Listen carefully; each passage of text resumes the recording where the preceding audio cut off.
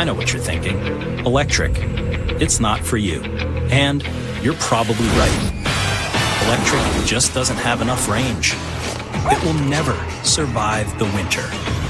Charging stations? Good luck finding one of those. So maybe an electric car isn't for you after all. Or is it?